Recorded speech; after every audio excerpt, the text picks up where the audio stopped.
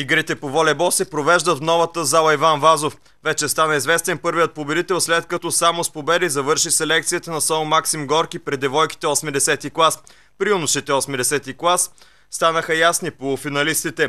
В четвъртък един срещу друг се изправят селекциите на професионална гимназия по ветеринарна медицина Иван Павлов и търговска гимназия княз Симеон Търновски. Вторият полуфинал ще противопостави отборите на гимназия с преподаване на чужди езици Румен Ролан и професионална гимназия по електротехника Георги Савараковски.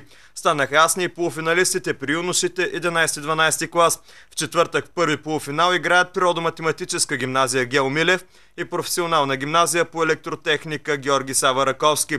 Във втория полуфинал се срещат професионална гимназия по ветеринарна медицина Иван Павлов и професионална гимназия по строителство, архитектура и геодезия Лубор Байер. Тази година започнаме с волейбол. Интересът е огромен. Много отбори имаме в волейбол, може би защото се развива вече волейбола и в Стара Загора. Както ще видят и зрителите от репортажа, играем и на две игрища, за да можем да смогнем в деня да приключим с срещите.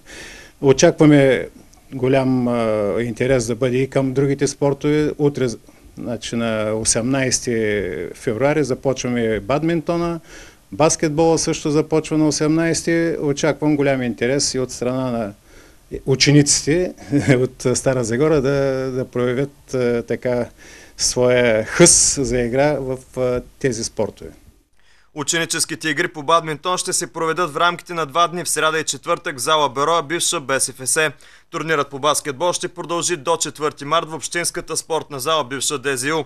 Игрите по футбол ще се проведат от 6 до 20 март на терените в квартал Колю Ганчев.